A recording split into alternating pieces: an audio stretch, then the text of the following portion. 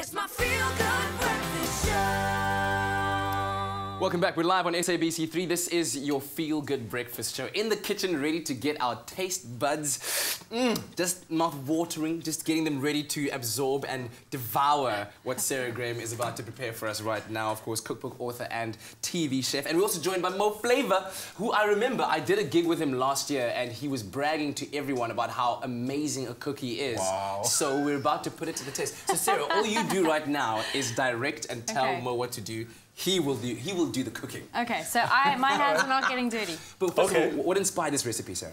Um, so I love figs. Yes. They are in season in February. February means figs. They're only in season for about five minutes. So, um, so I do as much as I can with them. I love rosemary, um, and rosemary and figs are really good friends. So it's a fig and rosemary crumble.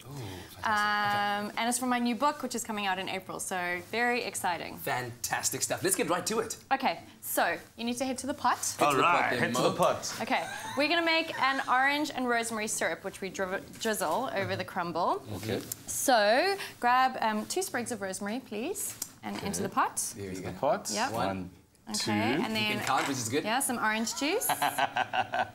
All right, orange juice. It can all go in. All of it. Why are you all right? shaking them? Are you like just you know just Maybe I don't know what I'm doing. okay, Okay, and then we've got some sticky brown muscovado sugar. Okay, how many spoons here? Um, two level tablespoons, please. Okay. Yeah. I love sugar, so forgive my heap. oh really? Okay, there we go. We, mo, mo flava. We've already gone off course. Add mo okay. flavor. That's cool. All right, there we go, there we go, Okay. there we go. So give it a mix. We want the Give sugar mix. to So this dissolve. is all to prepare the syrup, right? Yeah, syrup. All right. Okay, and then Looks pretty okay. yeah, just wait till the sugar's not so grainy, and then you can taste. Don't double dip. So I taste. Yeah, you can taste. Just once though. Just yeah, once. yeah, yeah. Okay, let me just do this. yeah, tastes like something I've had before. Okay.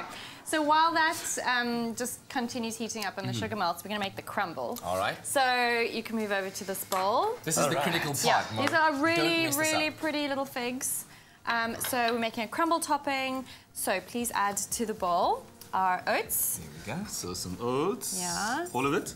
Or Uh, just yes, a suggestion? yes. All of it? No, We- all of it. you see what we do on TV, Mo, is that we measure out the ingredients, Oh. and so we make sure that we have enough in the bowl. So For know, people like me, Yeah. who are Yeah, bad with yeah. measuring. So you All don't right. have to pretend you know how much it is. It just goes in. There we go. So, Um, ground almonds. okay, all of yeah, it. Uh-huh.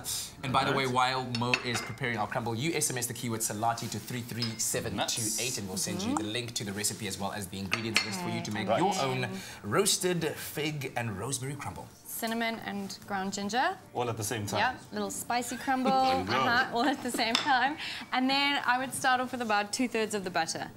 And then you need to feather it all together with your fingers in the bowl. So it before I gets- even- No, add the butter Get in. the butter the in there. Yeah, yeah. Uh, Get, is get that about the enough? butter A little there. bit more. A little bit more. Yeah.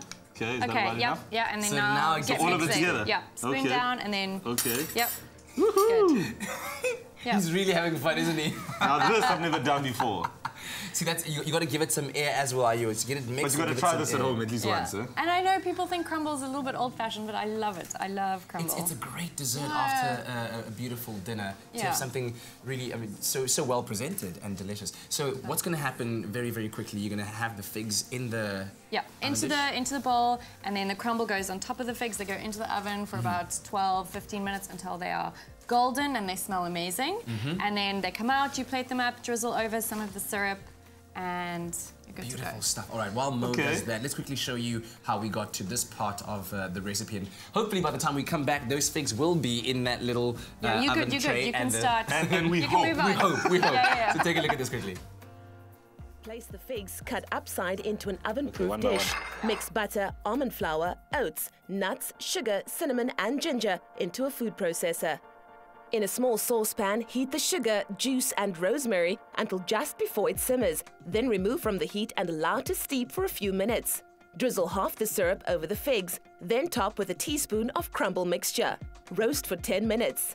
Serve with a drizzle of rosemary syrup, a dollop of mascarpone, and a sprinkle of chopped mint. For the full recipe, visit the Espresso Morning Show Facebook page or log on to www.expressoshow.com. SMS the keyword Selati to 33728 to receive the shopping list on your phone. Click on the link provided to view the recipe. SMSs cost one rand fifty. No free SMSs, T's and C's apply. So do SMS the keyword Selati to 33728 and we'll send you the ingredients list as well as a link to the recipe so that you can make your own roasted fig and rosemary crumble. And look at it, beautifully presented there in the finished product. But clearly you can see Jorge mo flava kim fanakas.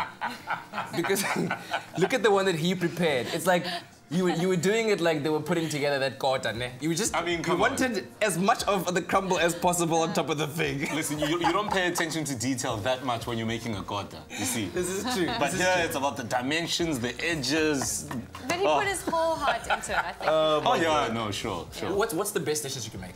Well, I can make pretty much anything. Chicken a la king, beef stew, uh, spaghetti and mince. Listen to you. I mean, I can go on. And of course, uh, braai meat.